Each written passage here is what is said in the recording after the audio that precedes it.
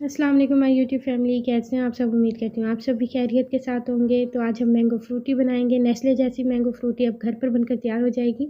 बहुत आसान है बनाने में, इसमें सिर्फ़ आम का इस्तेमाल करूँगी। ये देखें व्यूवर्स बिल्कुल मार्केट की तरह इसका फ्लेवर होगा।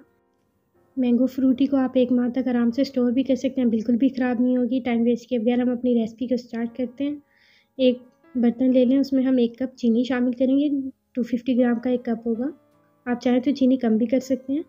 अब मैं इसमें दो कप कच्चे आम शामिल करूँगी। आपने इस बात का ख्याल रखना है कि कच्चे आम हैं पक्के हुए नहीं हैं उनका कलर येलो हो रहा है, लेकिन वो हैं कच्चे। अब इसमें मैं तीन कप पक्के आम शामिल कर रही हूँ। पका हुआ है अच्छी तरह से, ये देखें। अब मैं इसमें पाँच कप पानी शामिल करूँगी। व्यूवर्स बिल्कुल मार्केट की तरह इसका फ्लेवर होगा फ्रूटी का।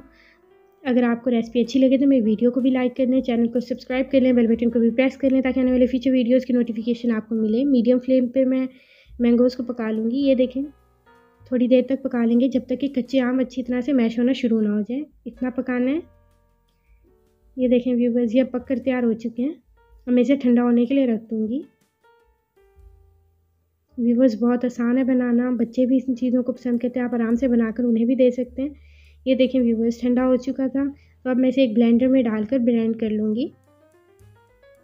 ब्लेंड करने के बाद एक स्टेनर लेकर आप इसे अच्छे से स्टेन कर लें। अगर आपको लगे कि ये थोड़ा गाढ़ा है तो आप इसमें पानी भी ऐड कर सकते हैं, लेकिन अगर आप इसको स्टोर करेंगे तो बिल्कुल इसी तरह स्टोर करेंगे, इसमें पानी रख कर स्टोर नहीं करेंगे। माशाल्लाह से देखें कितनी ज़बरदस्त मैंगो फ्रूटी बनकर तैयार हो चुकी हैं। ये देखें व्यूवर्स आप भी इसे एक बार ज़रूर ट्राई कीजिएगा और मुझे कमेंट्स में भी बताइएगा, आपको ये रेसिपी